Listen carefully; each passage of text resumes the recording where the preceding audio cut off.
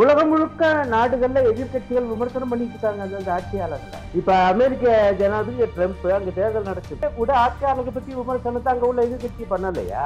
ஏன் விமர்சனத்தை பூராமே வந்து மலிவானது சிந்தனையற்றது என்று ஒரே அடியா தள்ளி இருக்கீங்க அப்புறம் இவங்ககிட்ட எப்படி பேசுறது?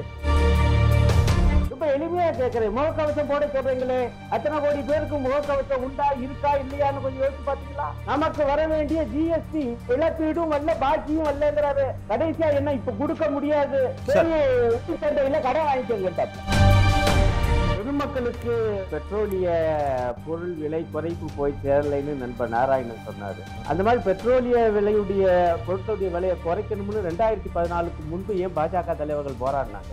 ஏங்க இவங்க எதிர்கட்சியா இருக்கும் போது பெட்ரோலிய விலை விலையை குறைக்கணும்னு போராடுவாங்களாம் ஆனா இவங்க ஆட்சிக்கு வந்த பிறகு பெட்ரோலிய பொருட்களுடைய விலையை குறைக்கணும்னு போராடக்கூடாதா? போராட அதனால பொதுமக்களுக்கு பயன் இல்லை எனக்கு புரியல இந்த வாதம்.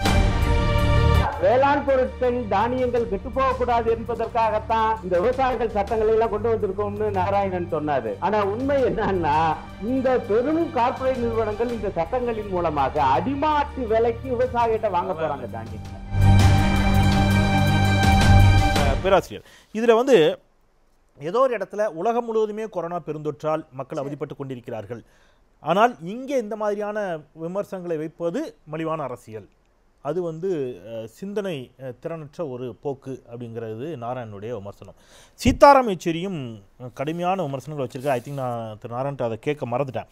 அவரும் என்ன சொல்றாருன்னா இது வந்து யுஎஸ்ஏவை விட நம்ம இங்கே வந்து ஹையஸ்ட் நம்பரில் இருக்கிறோம். இப்போ அவங்க சுட்டி காட்டியதை சீதாராம் யெச்சூரி சுட்டி காட்டியிருந்தார் விஜயதனி சுட்டி காட்டியதை ஏராளமான உணவு தானிய பொருட்களை வந்து நீங்கள் கிடங்குகளில் பத்திரமா வச்சுருக்கிறீங்க சேமித்து. ஆனால் அவற்றை பசியால் வாடக்கூடிய மக்களுக்கு ஏன் கொடுக்கவில்லை அப்படின்னு சொல்றாரு. Cash transfers to the unemployed இப்போ நீங்கள் வேலை இல்லாதவர்களுக்கு ஏன் பணமாக கொடுக்கல அப்படிங்கிற கேள்வி அவர் எழுப்புகிறார். இதுவும் அந்த மாதிரியான விமர்சனம் தானா? மலிவான விமர்சனம் தானா? அதையும் அப்படித்தான் நண்பர் நாராயணன் சொல்லக்கூடும். ஆனா இன்னும் அவர் சொல்லல. அதனால இல்லை நான் கேட்கல அதனால சொல்லல. அதனால அதனால ஆனா அநேகமா அவர் அப்படி சொல்லக்கூடும் நினைக்க அடுத்து என்ன சொல்றாருன்னு பார்ப்போம். நீங்க ஒரு விஷயத்தை குறிப்பிட்டீங்க. உலகம் முழுக்க பாதிப்பு இருக்கு. அப்புறம் நீங்க இங்க மட்டும் விமர்சனம் பண்ணா அது மலிவான அரசியல் தானே? அப்படின்னு ஒரு கேள்வி. உலகம் முழுக்க நாடுகள்ல எதிர்க்கட்சிகள் விமர்சனம் பண்ணிட்டு இருக்காங்க அந்த- ஆட்சியாளர்களை. இப்ப அமெரிக்க ஜனாதிபதி ட்ரம்ப் அங்க தேர்தல் நடக்குது. தேர்தல் காலத்துக்கு இப்ப நம்ம கிட்ட வந்துருச்சு. அதுக்கு முன்பே கூட ஆட்சியாளர்களை பத்தி விமர்சனத்தை அங்க உள்ள எதிர்க்கட்சி பண்ணலையா? எதிர்க்கட்சி தலைவர்கள் பண்ணலையா? இது தேவைங்க. ஏன் விமர்சனத்தை பூராமே வந்து மலிவானது? அப்புறம் மற்றது. சிந்தனையற்றது என்று ஒரே அடியா தள்ளிடுறீங்க. அப்புறம் இவங்ககிட்ட எப்படி பேசுறது? நான் அவருக்கு ஒன்றை சொல்லுவேன். பாஜகவும் எதிர்க்கட்சியா இருந்து வந்ததுதான். ரெண்டாயிரத்தி பதினாலு வரைக்கும். அன்றைக்கு எவ்வளவு விமர்சனம் மத்திய ஆட்சியாளர்களை பத்தி எதிர்க்கட்சி என்கிற முறையில உங்க தலைவர்கள்லாம் பண்ணா கொஞ்சம் அதெல்லாம் மறந்துடலாமா? எவ்வளவு போராட்டம். எனக்கு மறக்க முடியாத காட்சி.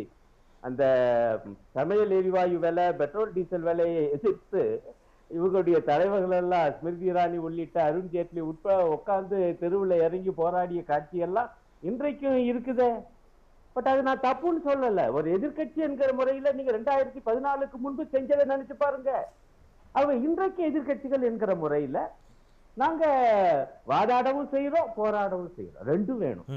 இதை நாங்க செய்யறோம் நீங்க அதை புரிந்து கொண்டு நாங்க சொல்வதுல எது நல்ல கருத்து இருந்தால் அதை எடுத்துக்கொள்கிற பாணியில ஒருத்தருமே பேச மாட்டேங்கிறாங்க அதான் ரொம்ப வருத்தமாகவும் வேதனையா இருக்கு. ஒண்ணு. ரெண்டாவது இப்ப மோடி அவர்களுடைய பேச்சுக்கு வருவோம். ரொம்ப நல்லா சொன்னார் நம்முடைய நண்பர் நாராயணன். ஒரு தந்தை போல பேசியிருக்கார். உண்மைதான். நான் ஏற்றுக்கொள்கிறேன். ஏன்னா அவர் அந்த மாதிரி நிறைய அறிவுரை சொல்றார். இப்போ அவர் அறிவுரையை சொல்லக்கூடாது என்கிற வாதத்தை நான் ஏற்க மாட்டேன். பிரதமர் என்கிற முறையில் அறிவுரை சொல்லுகிற உரிமை அவருக்கு இருக்கு கடமை அவருக்கு இருக்கு.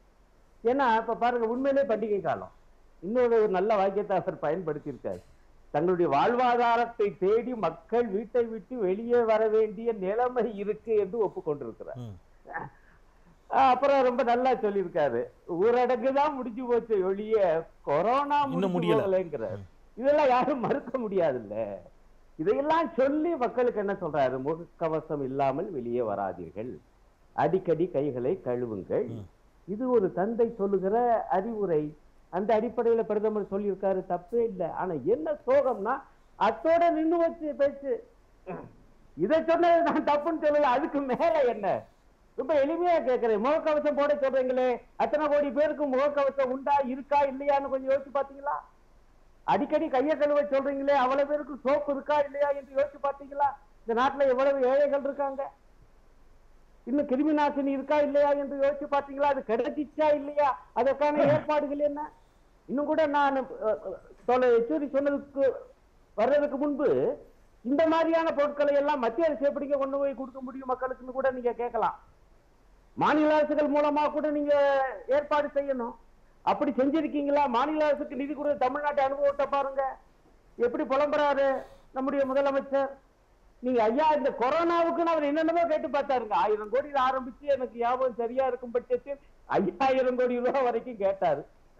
இப்ப உடனடியா ரெண்டாயிரம் கோடி ரூபாய் வேணும்னா நேரடியாவே ஆனா ஆனா திரு அருணன் அந்த உணவு தானிய பொருட்களை ஏன் விநியோகிக்கல அப்படிங்கிற கேள்விக்கு ஏற்கனவே உணவு தானிய பொருட்கள் கொடுக்கப்பட்டிருக்கின்றன என்று பல விவாதங்களில் பாஜகவினுடைய செய்தி தொடர்பாளர்கள் குறிப்புகளை வந்து வைத்து பேசியிருக்கிறார்கள். நான் வரேன். கோதுமை கோதுமை கொடுக்கப்பட்டிருக்கிறது. தமிழகத்தில் கொடுக்கப்பட்ட அரிசி மத்திய அரசினுடைய அந்த தொகுப்பிலிருந்து கொடுக்கப்பட்டது போன்ற வாதங்களை திரு நாராயணனே பல வாதங்களை வைத்திருக்கிறார். என் நினைவு சரியா இருந்தா? நான் அதனால அடுத்த நான் அதுக்குள்ள இன்னும் வரல. அதெல்லாம் மனசுல எனக்கு இருக்கு. நான் கேட்கறது அவர் பேசிய பேச்சு என்ன? கையை கழுவுனீங்களா? முகக்கவசம் போட்டீங்களான்னு தானே. அதை கொடுப்பதற்கு யாரு கொடுக்க முடியும்? மாநில அரசு தானே. முகக்கவசம் கொடுப்போம் என்று சொன்னாரா இல்லையா? எடப்படி எவ்வளவு பேர் கொடுத்ததாங்கிற கேள்வியை நம்ம எழுப்புறோம். அதுக்கு அப்பா அவர் என்ன சொல்றாருன்னா நிதி இல்ல. கொரோனாவுக்குன்னு நிதி கேட்டோம்னு ஒண்ணும் தரல இப்ப கூட அமைச்சர் ஜெயக்குமார் இவங்க வந்து கொடுத்துட்டாங்க கொடுத்துட்டாங்கன்னு சொல்றாங்க. இல்லைன்னு அவர் கணக்கு கொடுக்கறாரு. அதை விட கொடுமை அவருக்கு சொல்றது மிக முக்கியம். எல்லாரும் சேர்ந்து குரல் இருக்கணும் எந்த அரசாவது இருந்துட்டு போகுது மாநிலத்துல. என்னது? நமக்கு வர வேண்டிய ஜிஎஸ்டி இழப்பீடும் வரல பாக்கியும் வரலங்கிறாரு. பன்னெண்டாயிரத்தி இருநூத்தி ஐம்பது கோடி ரூபா. கடைசியா என்ன இப்ப கொடுக்க முடியாது. சரி. சந்தையில கடன் வாங்கிக்கோங்கட்டாப்ல. இது என்னங்க கொடுமை? அப்புறம் எப்படிங்க முகக்கவசம் கிடைக்கும் எப்படிங்க சோப்பு கிடைக்கும் ஓகே தீர்வுகளை சொல்லவில்லைங்கிறீங்க. Okay sir. அதனால வெறும் தந்தையா தந்தை என்றால் தந்தைக்கு ரெண்டு கடமை இருக்கு. ஓகே ஓகே அறிவுரையும் சொல்லணும். அதே நேரத்துல அடிப்படை விஷயங்கள். முதல்ல சுகாதாரம். ரெண்டாவது இந்த விஷயத்துக்கு வர்றேன். இந்த தானியங்களை பற்றி நான் இங்க வந்து நீங்க அதிமுக காரங்களையும் கூப்பிட்டுருக்கணும். அவங்ககிட்ட நம்ம கேட்க வேண்டியிருக்கணும் இந்த வாதங்களை எல்லாம் பாஜக காரங்க சொல்லும் போது அவங்க ஒண்ணு ஒப்புக்கொள்ற மாதிரி தெரியல. நான் கேட்கறது எங்களுடைய பொதுச் செயலாளர் என்ன கேட்கிறாருன்னா உங்களுடைய கிட்டங்கியில கிடங்குல எவ்வளவு டன் வச்சிருக்கீங்க தானியங்கள்?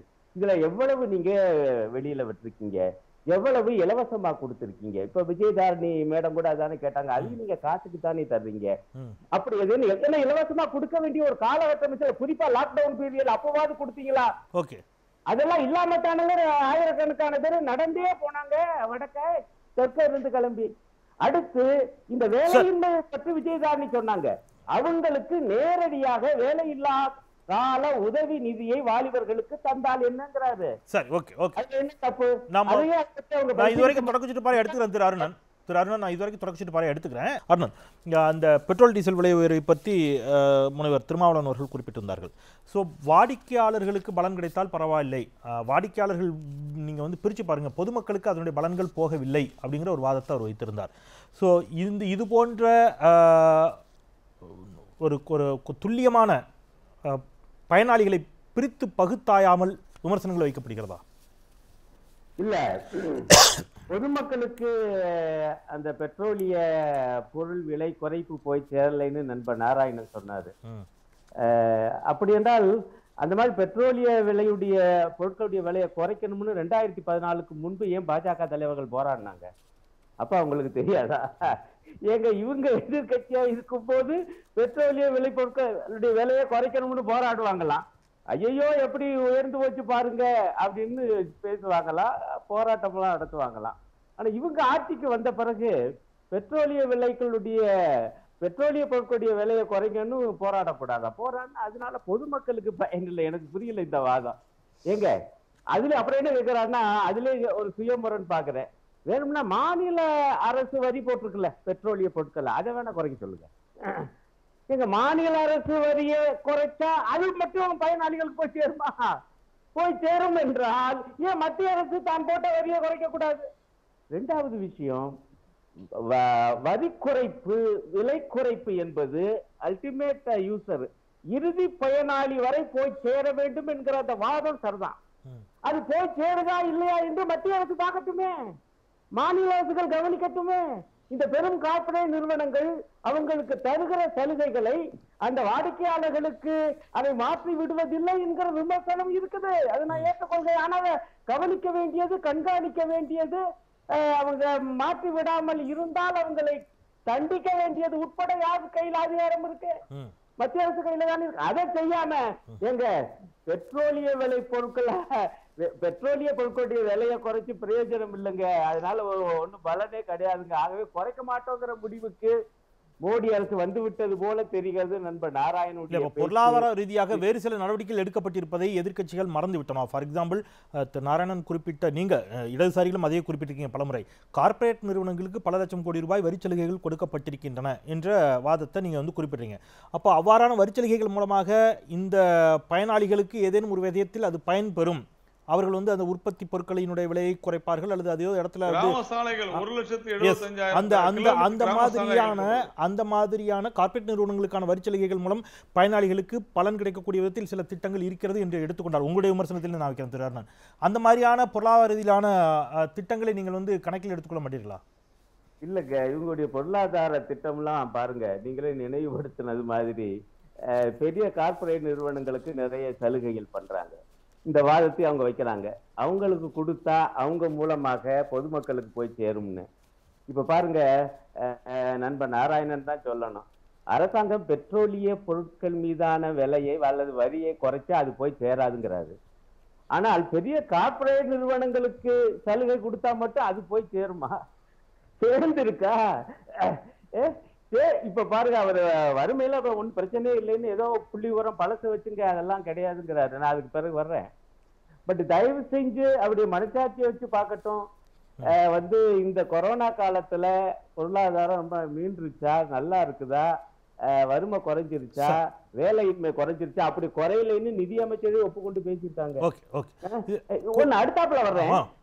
இவ்வளவு இல்ல முடிச்ச இவ்வளவு பண்ணியும் என்ன ஆயிருக்கு என்று இப்ப கடைசியாக இப்ப இடதுசாரிகள்லாம் சொன்னா நண்பர் நாராயணன் ஏற்றுக்கொள்ள மாட்டார். அது இப்ப மூத்த பத்திரிகையாளர் ஒருத்தரும் சொன்னாரு எங்க நம்ம நம்பிக்கை இழக்க வேண்டியதில்லைன்னு சொல்லி அவர் ரொம்ப நிதானமா சொன்னார். நான் ஏற்றுக்கொள்கிறேன். நம்பிக்கை இழக்க வேண்டாம். இந்தியா ஒரு மகத்தான நாடு. நிச்சயமாக வெற்றி பெறும். மக்கள் மகத்தானவர்கள் வெற்றி பெறுவார்கள். எனக்கு அதுல எல்லாம் நம்பிக்கை இருக்கு. ஆனா அதே நேரத்தில் அஞ்சுவது அஞ்சாமை பேதமை என்று வள்ளுவ பேராசன் சொல்லியிருக்கான். எத்தகைய ஆபத்து வருது என்று நீங்க வேணாலும் போய் பாருங்க.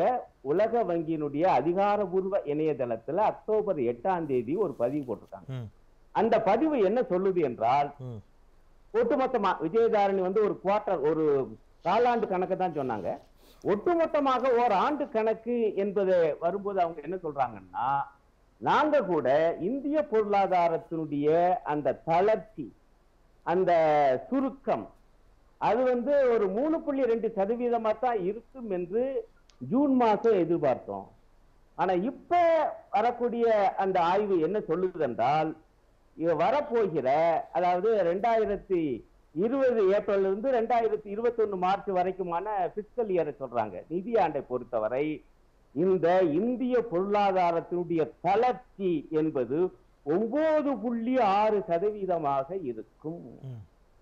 இது இல்ல இன்னும் இதுல விவரங்கள் பாத்தீங்க இங்கதான் பிரச்சனை வருது. இது இந்த. தளர்ச்சி என்பது நேபாளத்தை விட மோசம் பங்களாதேஷை விட மோசம் அப்படின்னு சொல்றாங்க. அதை விட நான் முழுமையா சொல்றேன். ஆனாலும் அரசு சில நடவடிக்கை வாக்கியங்கள். அடுத்த வாக்கியங்கள் இருக்கு என்பதை சொல்லிட்டு அப்புறம் கடைசி என்ன சொல்ற ஆனாலும் அந்த அந்த நடவடிக்கைகள் உரிய பலனை தருமா என்று எங்களுக்கு சந்தேகமா இருக்கு காரணம்.